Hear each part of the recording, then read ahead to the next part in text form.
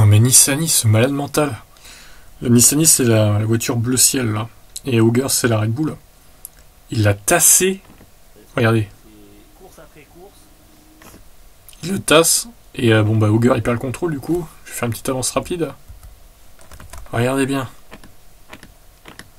Du coup, bah, il est obligé de, de perdre le contrôle. euh, Denis Auger d'aller dans l'herbe.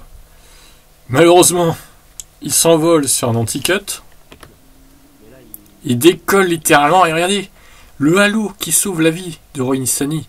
Alors qu'il aurait pu mourir de par sa faute, en plus de par sa propre faute, en ayant envoyé un concurrent hors piste.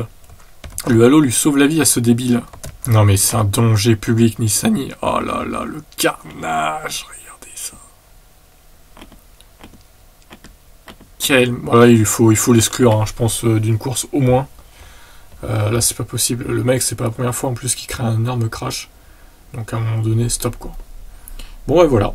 Et face que de Roy Nissani en F2.